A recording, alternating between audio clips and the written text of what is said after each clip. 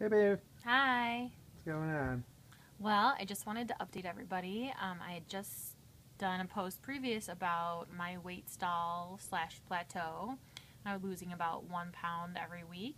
And I just wanted everyone to know that this past week I lost seven pounds. um, so I told that weight plateau what was up. Um, so what I did this week was I went to the gym. Um, I've been working out with my cousin Thelma. We've been working on back and core stuff and legs and arms and doing cardio. And I went to my friend Liz's Zumba um, lesson, which was awesome. I wasn't good at it, but it was still awesome. And um, I can't wait to do it again so I can get better. And um, so, yeah. And, huh? Did you do yoga too? Oh, no, yoga was the week before. Oh, okay. Well, my mistake. Um, and so yeah, so I lost seven pounds this week.